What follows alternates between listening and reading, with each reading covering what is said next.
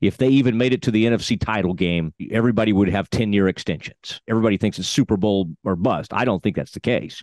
But I don't I do think it's been so long since they've been 1996 since they've been to an NFC title game or 95 yeah. season. It's they can't it, it can't go on anymore. It's year after year after year and they think that they have this window right now and they have a couple of stars on defense and and Colin, we've talked about in the past. They've been kind of uh, they they've been bare at wide receiver, and they've entered these seasons, and they just don't have enough firepower there.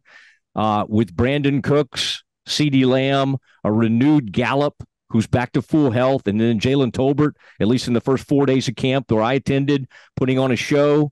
Um, they're they're jacked up at wide receiver.